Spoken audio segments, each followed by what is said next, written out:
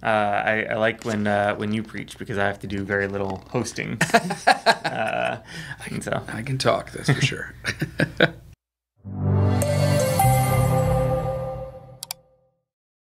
well, hello and welcome to this week's midweek mashup. I'm here once again with our lead minister, Eric Hays, yeah. Uh, in our Galatians series. Yeah. Uh, man, uh, one of my favorite quotes from your message this Sunday was that you wish you had like two and a half hours. Yeah to uh, to preach this sermon. I, I, can't give you an extra two hours, uh, but I can give you an extra fifteen sure. minutes. Yeah. Uh, what, if anything, do you wish that you could have oh, spoken man. about this Sunday? There's there's kind of three ish, two and a half, but almost three sections in Galatians chapter 4 mm-hmm. um, where.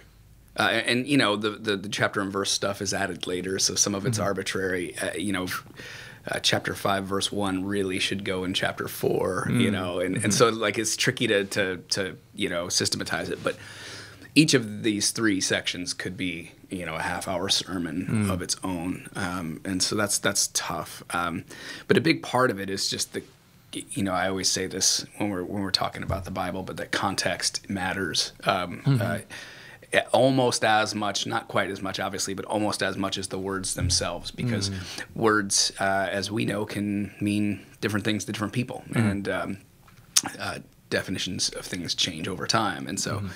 um, so that that's what's tricky is digging into the context of Galatians, mm. and um, you know, one of the things that I've been seeing a lot of back and forth um, between different, um, you know uh, Christian thinkers is you know one one side of an argument will say like a clear reading of this text says mm-hmm. this, mm-hmm. and then the other side will say there's no such thing as a clear reading of the text because we're reading a uh, you know a two thousand year old letter that was written in Greek to a culture that we are so far from, mm-hmm. right?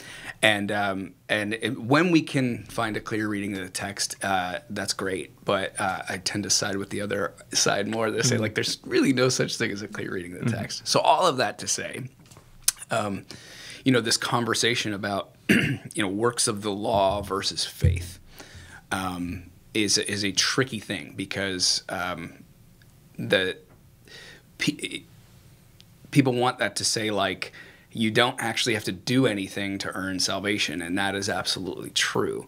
Um, but but the sometimes the, the conclusion they come to is then uh, faith doesn't have to change you at all. Mm. You know what I mean? Like mm-hmm. you, as long as you say the right words and pray the right prayer, you're mm-hmm. covered. But um, Paul doesn't. You know, when he talks about you know faith versus works, he's not talking about um, you know just disembodied belief. He mm. absolutely means that true faith will transform your actions. Um, and we're going to get into that this week in Galatians 5. Mm-hmm. But I just think that's really important that as we read Paul's words, um, we don't pit him against the book of James, mm-hmm. who mm. says, faith without works is dead. Mm-hmm. And what he's saying is believing the right things but not being changed by it is mm-hmm. useless. It's not, right. it's not real. There's no salvation in that, right? Mm-hmm. Um, uh, and so that that's the stuff that I'd love to dig into to Galatians more, but um, we're going to get into that this week. So I kind of left it mm-hmm. alone, mm-hmm. even though it's like right there in front of you. Mm-hmm. The other thing that I didn't get a chance to dig into um, is the the Hagar and Sarah uh, mm-hmm. passage uh, that kind of concludes it. Um, some people think that um, that was just kind of like a throw in to try to make a word picture. Other people think that hey, that might be the actual crux of the the, the passage or even the whole book mm. of Galatians. Um, and uh, it's a kind of easy to understand thing, which is why I didn't dive into it too much. Um, but but um, you know, for for for Paul, and I talked about this a little bit for Paul in this word picture. He's saying that you know Hagar represents um, you know human effort to try mm. to earn salvation, and mm-hmm. Sarah represents faith. And I think it's a really helpful uh, understanding for, for us for what faith means. Mm. Um, the fact that Paul uses Abraham and Sarah as um, examples of what faith means is really good as we're talking about this difference you know faith versus works mm-hmm. paul is not making a, a judgment about faith versus works mm-hmm. um, he, he he trusted um, abraham trusted god and it was credited to him as righteousness right mm-hmm. but how did he trust him he took crazy steps of faith. Mm-hmm. He didn't just believe that God was going to do all of this stuff. He, he, God would say, Abraham, here's what I want you to do. I want you to go to this place, mm-hmm. and Abraham would go. Yeah. Abraham, I want you to you know, do this, I want you to do that. And Abraham would do it. Faith was worked out. Mm-hmm. Um, it- it- there is no division between faith and works.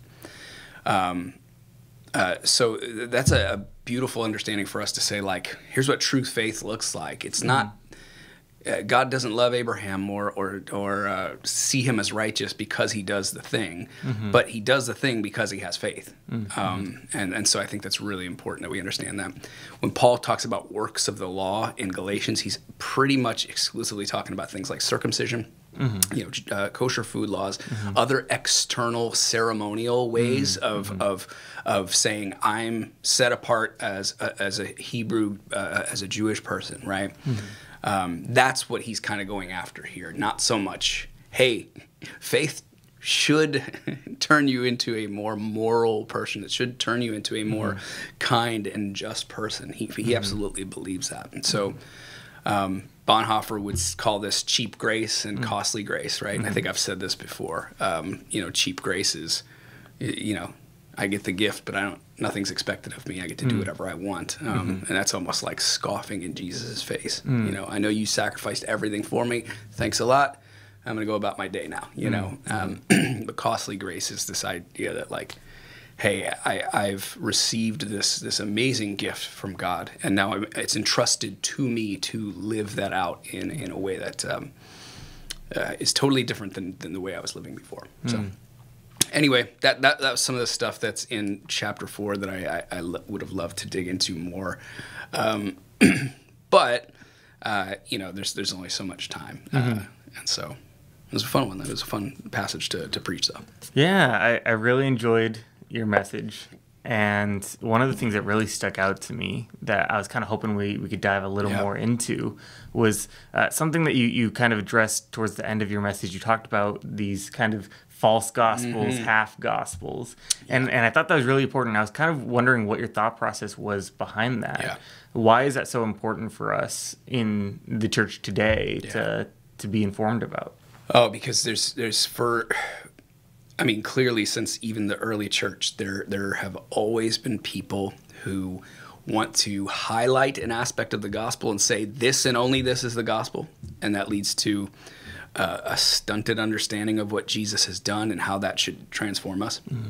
There are others who have added to the gospel um, things that that you know don't make sense, such as you know these Judaizers in, in Galatians, um, and uh, and so it, there's always different expressions of it. You know, mm-hmm. they, they, in the early church, they dealt with all sorts of heresies about Jesus. Right? Mm-hmm. Some some believe Jesus was just a ghost; he wasn't really human. You know, because mm-hmm. God can't suffer. Right? And uh, and there were other people that were like, yeah, yeah, but he he wasn't man, but we're not sure he was God. And so like they're always trying to wrestle with who Jesus was. And so like when you hear the word heresy, and this is this is just a, a throw in. When you hear the word heresy, it gets thrown around way too much.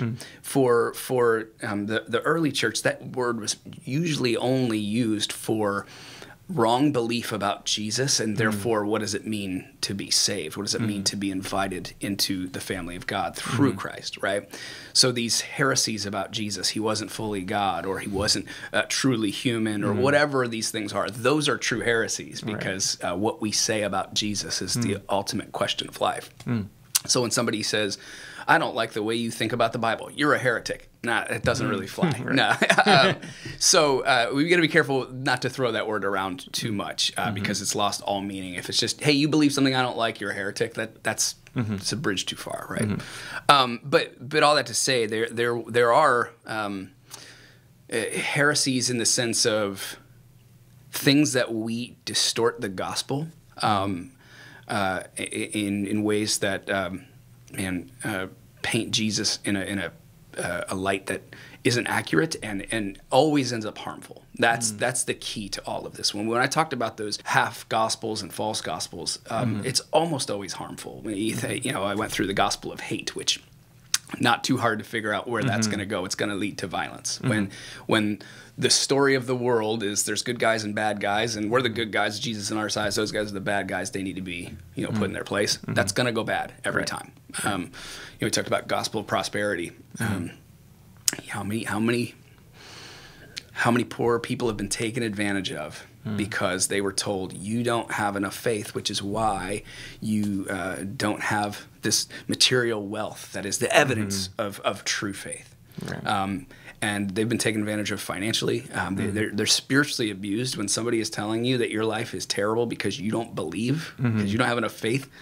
Oh, that's really toxic, right? Um, and the, the gospel of comfort, just like I said before, it takes our eyes off of the poor. It, it, mm-hmm. it, it, it harms the world because we just sit in our own little bubble and act like everything's mm-hmm. okay, and it's not okay. And mm-hmm. we're, the gospel does demand that we that we see the world differently, and we we want the rule and reign of Jesus to be extended, um, and, and for justice and mercy to become part of um, these these system structures. You know, uh, localities, whatever. Um, and then the, the last false gospel that was in there was the uh, the, the, the gospel of empire. Um, And uh, you know, I, I addressed this a few weeks back, but the, the idea of Christian nationalism, um, you know, that that um, that that is how God is working through the world is through one Christian nation, um, despite the fact that Scripture, you know, talks about that, that the kingdom of God is made up of people from every tribe and language, people and nation, despite the fact that every every attempt at a Christian nationalism has ended horribly in history. It's just it's it, God isn't working that way. And then the, the half gospels that, that I talked about there was the gospel of personal salvation. Clearly, there's truth to that, right? God does save individual souls. Um, Jesus did die for my sins, and uh, uh, I have life because of that, right? Um, but it stops there. Um, And if that, you know, that's the easy believism, like that's Yeah. it, okay, end of story, right? Uh, the flip side of that is the, the gospel of of um, oh, what do we call it? Uh, social liberation, which you know, God is at work to uh, transform systems so that there will be justice and peace in the world, and it, it, you know, there's no consideration for individuals. Um, there, both of those things are true, and put together, they are the gospel. Um, but if we just emphasize one or the other, again, harm happens because if it's just about me and Jesus, I don't have to care about anything else that's going on in the world. Um, I'm fine, right? Uh, and if it's just about you know social liberation, I'm not. I'm not worried about my neighbor. I'm only worried about like h- how I vote, and I'm only worried about how I you know call systems and structures. And there's real people, tangible people to be loved, to be um, uh, cared for, to uh, have the gospel you know spoken into their life. And so. Um, when we have that those things together, we see that God is working in individual individuals, and that's working its way out into communities and into structures, into systems. Real transformation takes place. So, long story, long-winded way to say, we need to get the gospel right because if we don't, it, will have negative impacts around us. It will harm us. It will give us a view of Jesus that is just inaccurate. Uh, and there's no life in these fake Jesuses. There's only life in the true Jesus, uh, the one that we read about in Scripture. So. I, I really appreciate you kind of diving a little bit more into what we we talked about on Sunday. Uh, what is it that we can kind of expect Yeah. as we're wrapping up uh, this series pretty soon? Uh, what's to come in, in the next couple of Yeah. weeks? Uh, one quick note on the stuff I just talked about. Al Tizon's book, Whole and Reconciled. I recommend it. People read it. Excuse me.